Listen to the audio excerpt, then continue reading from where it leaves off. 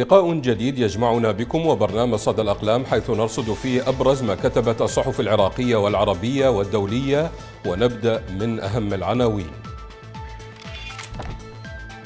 في موقع الهيئة نت مسلحون يغتالون محامية بهجوم مسلح شرق بغداد.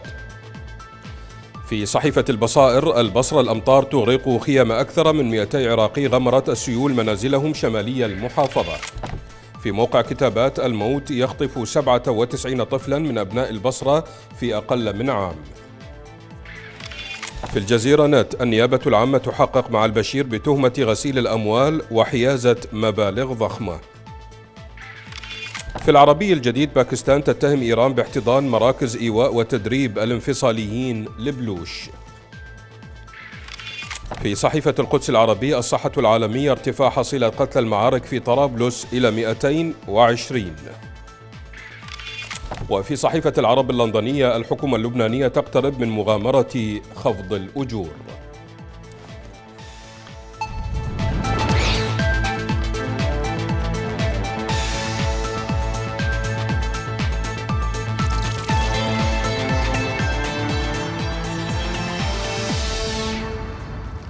السلام عليكم. قامت العملية السياسية في العراق على كثير من البدع التي أدخلها أصحاب القرار السياسي للفوز بمغانم السلطة والإبقاء على أنفسهم متربعين على عرشها تاركين الجماهير تصدق كذبة الانتخابات التي يحرفون نتائجها إذا لم تأتي بما تشتهي مصالحهم الحزبية.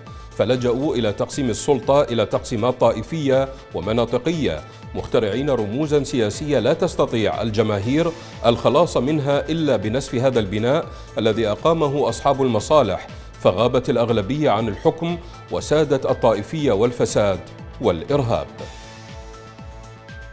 جاءت انتخابات عام 2018 وكنا نتوقع إرساء للمفاهيم الديمقراطية وترسيخا للمبادئ الدستورية خاصة وأننا رأينا تغييرا في الشعارات الانتخابية ورغبة ملحة من الجميع في الخروج بكتلة وطنية لها القدرة على تشكيل حكومة تعيد بناء العراق وتصلح ما تحطم من بنيانه خلال السنوات الماضية. فكانت شعارات البناء تلامس أسماعهم والرغبة بالإصلاح أملهم المنشود. ولم تدري الجماهير أن هناك ذئابا سياسية متربصة تحت عناوين براقة وشعارات مقدسة ليس لها هدف سوى الاستئثار بالسلطة.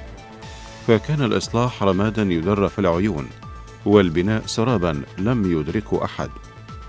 كنا نأمل خلال هذه السنة أن تترسخ التجربة الديمقراطية عند أصحاب الشأن السياسي وأن نشاهد كتلتين إحداهما حاكمة والأخرى معارضة بدلا من التزاحم على مناصب السلطة وتقاسمها في الغرف المغلقة والتي يبدو أن البعض سائرون لفتح جديد فيها. يضيف الكاتب قارب عام على عمر الحكومة الجديدة ولم نعرف إلى الآن ما هي الكتلة التي شكلت الحكومة في بدعة أخرى مخالفة للدستور. تم فيها تقاسم السلطة بين تحالفي النصر والبناء. لتنفرد فيما بعد كتلتا الفتح وسائرون بالاستئثار بالوزارات والمناصب الحكومية المهمة في الدولة. وكالعادة في كل دورة ما زالت وزارتا الداخلية والدفاع شاغرتين. وكأن هذه البدعة أصبحت عرفا تسير عليه الحكومات المتعاقبة بينما البرلمان العراقي إلى الآن لم ينتهي من تسمية لجانه البرلمانية والصراع ما زال على أشده من أجل الظفر برئاستها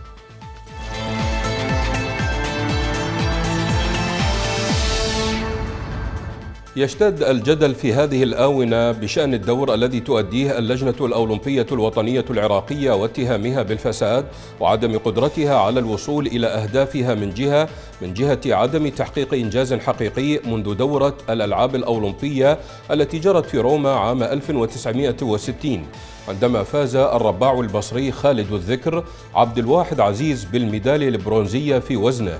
المتحاملون على اللجنة الأولمبية الوطنية العراقية يصبون جام غضبهم على المكتب التنفيذي للجنة ولا يشيرون إلى أي اتحاد رياضي منضوي تحت لواء اللجنة الأولمبية الوطنية العراقية بالسلب في تغييب عجيب للحقيقة.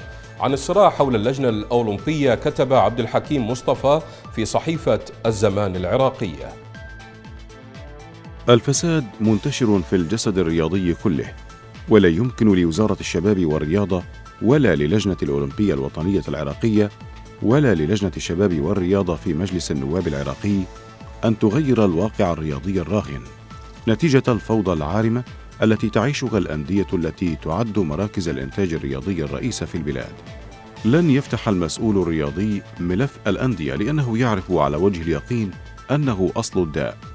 الأندية الرياضية لا تنتج أحيانا رياضيين ومدربين غير كفؤين وحسب، وإنما تقدم لنا بين فترة زمنية وأخرى إداريين يفتقرون إلى الكثير من المؤهلات العلمية والعملية في المجال الرياضي.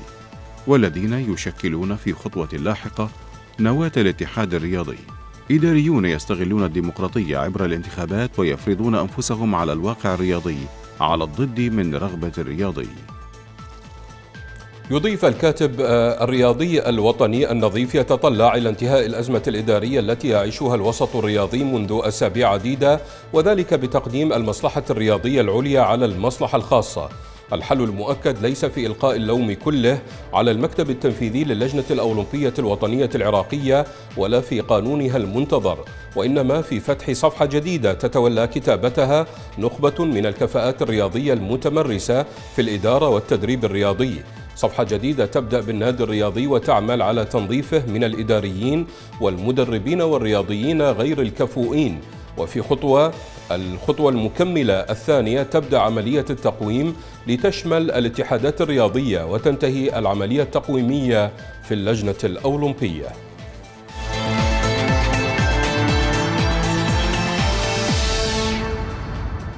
عبد المهدي يقرأ الظرف العراقي الحالي وفق مسؤوليته أمام الشعب العراقي وعليه تقديم إجابات عملية لتجاوز أزمات العراق المتعددة والمتشابكة اقتصاديا وأمنيا وسياسيا ونتيجة خلفيته الاقتصادية فالأرقام التي بين يديه تشير إلى عجز كبير ومديونية عالية تصل إلى قرابة 100 مليار دولار. وأمامه ملف النازحين وأعمار مدنهم المخربة وهناك حاجة ماسة إلى الطاقة والكهرباء التي لم تحل أزمتها رغم ما صرف عليها خلال سنوات الخمس عشرة الماضية. مليارات الدولارات التي ابتلعتها حيتان السرقة والفساد. عبد المهدي متيقن من أن إيران المتغلغلة داخل العراق لم تقدم لشعبه عونا والمثال ليس بعيدا في قطع الكهرباء عن مدينة البصرة الصيف الماضي بسبب تأخر العراق عن تسديد المستحقات. عن العلاقات الإقليمية وخاصة إيران والسعودية آه، مع العراق كتب ماجد السمرائي في صحيفة العرب اللندنية. لا شك أن أي رئيس حكومة في بغداد يحتاج إلى قوة إرادة يستمدها من ضميره الوطني ومن الشعب العراقي لكي يواجه حملات التشويش والتشويه لعلاقة الرياض ببغداد. ولم تمر ساعات على زيارة عبد المهدي للسعودية حتى انطلقت أصوات التشكيك ونبش الماضي من قبل برلمانيين ينتمون إلى كتل شيعية موالية لطهران حيث طالب رئيس كتلة منظمة بدر بضرورة حسم نوايا الجانب السعودي للعراق بما ارتكبته بحق الشعب العراقي وأن يكون حسن النية على أرض الواقع. مثل هذه التصريحات تحاول وضع العصي أمام أية خطوة تخدم شعب العراق. فماذا حصل بين العراق والسعودية بعد العام 2003 ألم تحدث حرب طاحنة بين العراق وإيران؟ راح ضحيتها أكثر من مليون قتيل. والآن العلاقات مزدهرة بين البلدين ثم هل أن العلاقات بين الدول وفق مصالح طرف دون آخر؟ القوى السياسية الموالية لإيران في أزمة حقيقية ولم يعد بمقدورها التغطية على حجم الأضرار التي لحقت بالعراق خلال الخمسة عشر عاما الماضية ولقد جربت إيران طيلة هذه السنوات العجاف على العراقيين فنهبت أموالهم وفككت وسرقت مصانعهم ودمرت مزارعهم ولم تسمح لأي فرصة تنموية يمكن أن تنازع بضائعها. فلماذا لا تعطى الفرصة للحل الصحيح بالانفتاح بقوة على الدول العربية وفي مقدمتها السعودية؟ عادل عبد المهدي لا يستطيع إغماض عينيه حول التطورات المتسارعة في إجراءات واشنطن العقابية ضد طهران.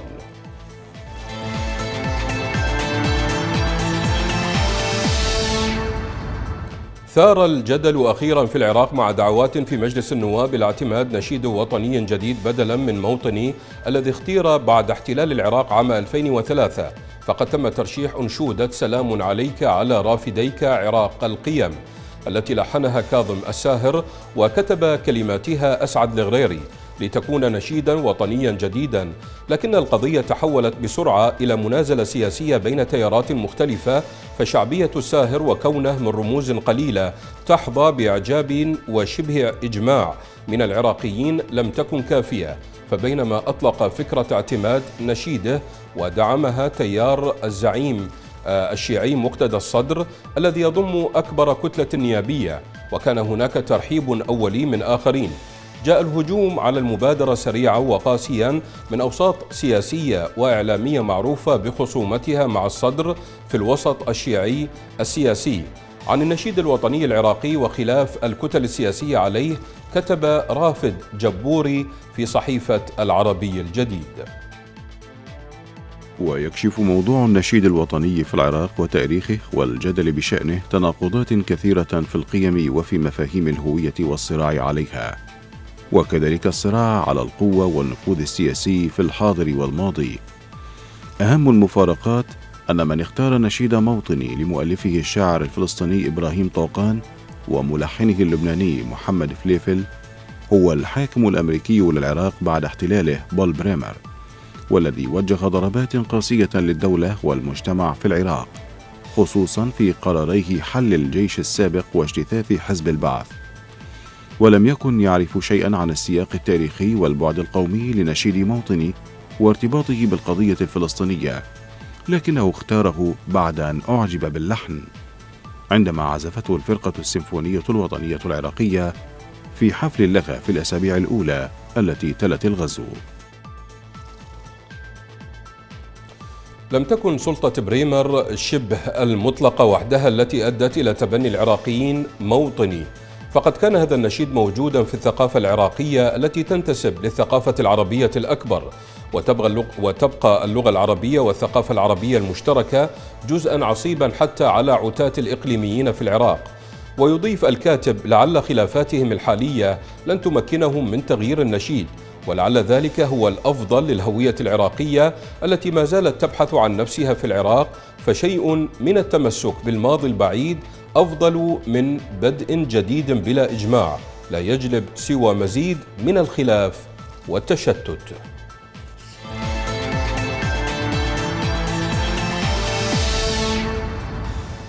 قبل عدة أسابيع اعتقلت الأجهزة الأمنية في قطاع غزة التابعة لحركة حماس أمين عام الحركة حركة الصابرين هشام سالم وعددا من قيادي الحركة المدعومة من وزارة الأمن الإيرانية.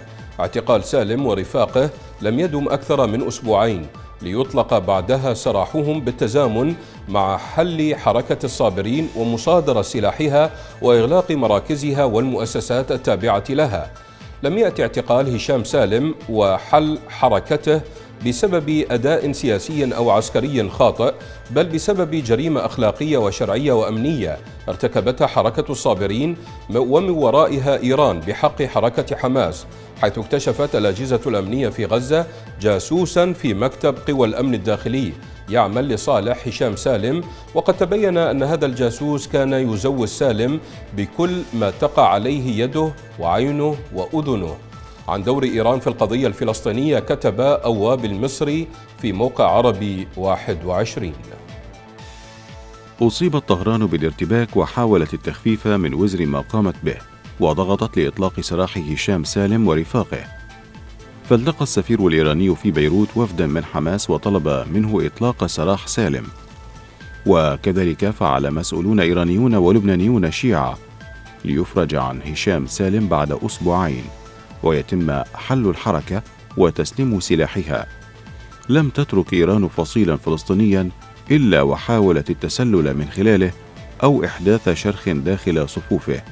حتى حركة حماس لم تسلم منها حيث سعت طهران وما زالت لاستمالة بعض قياداتها وكوادرها البارزة ومحاولة الفصل بين قيادة غزة والضفة الغربية من جانب وقيادة الخارج من جانب آخر وتحاول بناء علاقة مستقلة مع جهات بعينها في الحركة بعيدا عن الجهات الأخرى ومن وراء ظهرها على ذلك يفتح لها قوة تمكنها من التسلل إلى صفوف الحركة. وهو ما أخفقت في تحقيقه حتى الآن. يقول الكاتب السلوك الإيراني تجاه القضية الفلسطينية مستغرب ومستهجن فمن ناحية ترفع طهران لواء تحرير فلسطين ودعم حركات المقاومة ومن ناحية أخرى تعمل على شق الصف الفلسطيني والتجسس عليه وإحداث اختراقات في صفوفه.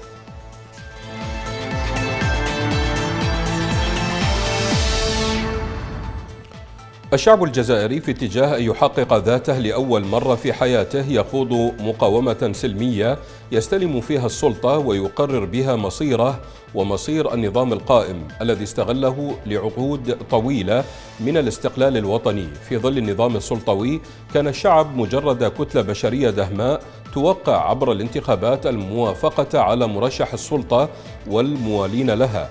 فقد كان الشعب مفهوما يراد به تسويغ وجود الدولة كما تقتضيها الشرعية الدولية. أما في ظل الحراك الشعبي السلمي والمسالم فإن مفهوم السلطة يتغير تماما ليصبح معبرا فعلا عن إرادة الشعب في أرقى مستوياته أي الهيئة الاجتماعية التي تملك زمام نفسها وتقرر مصيرها بنفسها. عن إرادة شعب الجزائر كتب نور الدين ثينيو في صحيفة القدس العربي. عندما يكون الوعي السياسي في أرقى حالاته أي كحالة لجماعة مكتملة التكوين بخاصية جوهرية كونها مصدر السلطة بإمكانها أن تصنع الواقعة في الآن. وتقرر مصيرها في المآل.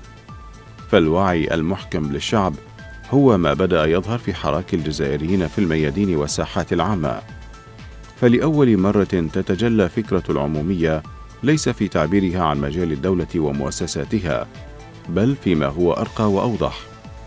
الشعب مرجع أخير للسلطة فالقوة السياسية الأولى هي الشعب الذي حقق ذاته ويأمل في أن يحقق مؤسساته بشكل مباشر ويصبح هو المسؤول عنها مسؤولية كاملة وبالقدر الذي يجب فيه أن لا يتخلى عنها.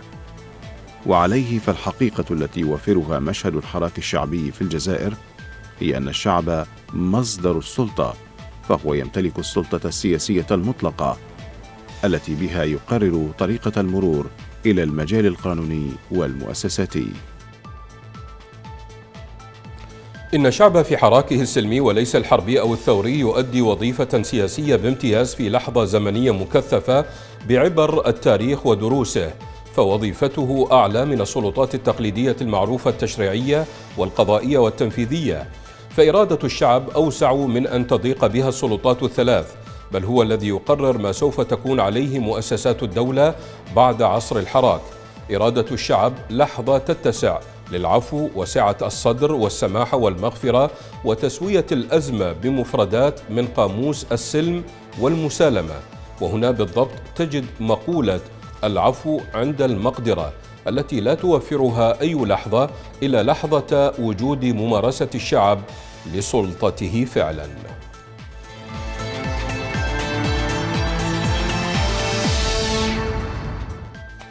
هيمنت مأساة المهاجرين على جوائز الصورة الفوتوغرافية لهذا العام World Press Photo حيث نال الجائزة الأولى المصور جون مور عن صورة آه، تظهر الطفلة الهندوراسية يانيلا سانشيز وهي تنتحب. بينما يقوم حرس الحدود الأمريكيون باعتقالها ووالدتها ساندرا قرب بلدة ماكالين في ولاية تكساس في الولايات المتحدة. والتقطت الصورة في يونيو عام 2018 كان عنوانها طفلة تنتحب عند الحدود وذلك في سباق تنافس فيه أكثر من 4738 آه، مصورا شاركوا بأكثر من 78 ألف صورة هذا الأسبوع. وفي فئة أخرى من المسابقة فاز المصور آه، بيتر تين هوبن المقيم في السويد بجائزة أفضل صورة صحفية للعام لسلسلة الصور التي التقطها تحت عنوان قافلة المهاجرين.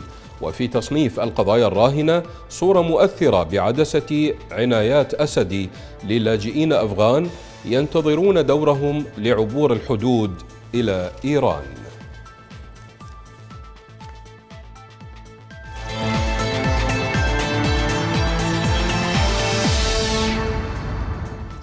يقول الفيزيائيون في جامعة زيورخ في سويسرا إنهم ابتكروا جهازا تجريبيا له القدرة على تحويل الماء المغلي إلى جليد دون استخدام أي طاقة ودون خرق لقوانين الديناميكا الحرارية. ورغم أن اكتشافهم يبدو أنه سحر ديناميكي حراري آه، فإن الباحثين قالوا إنه من الممكن تحقيق هذه النتائج دون تحطيم أي من القوانين الأساسية للكون.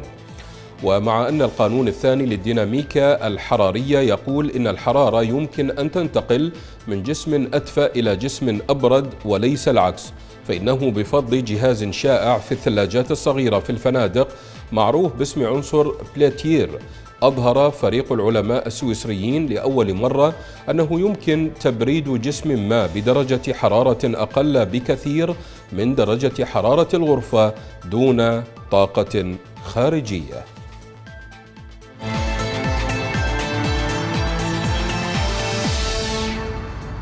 الرسوم الكاريكاتورية لها أسلوبها الخاص في وصف الأحداث حول العالم.